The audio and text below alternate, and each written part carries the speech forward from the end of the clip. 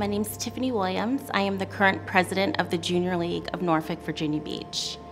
And the Junior League was founded in 1901 by a social activist in New York. And she was committed to providing leadership to civic leaders who really wanted to make a change in the community. And so here in our community in Hampton Roads, the Junior League of Norfolk, Virginia Beach was established in 1925. And we're proud to say that we're the first junior league in the state of Virginia.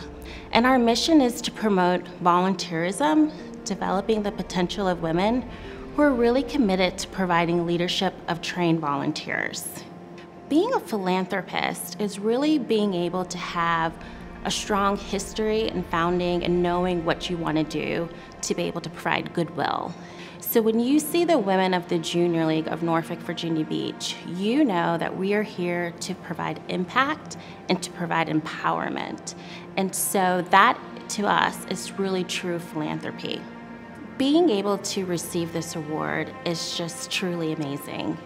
Being able to be recognized in our community to know that over the years, the work that we have done and to continue to do and to receive this award makes us want to work even harder. And so we are extremely grateful to be able to receive this award.